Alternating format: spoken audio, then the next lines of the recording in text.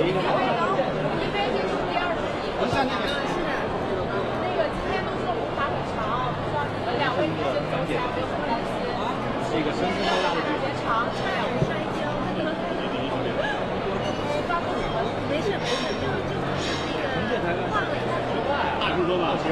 重庆，二十？万岁，万岁。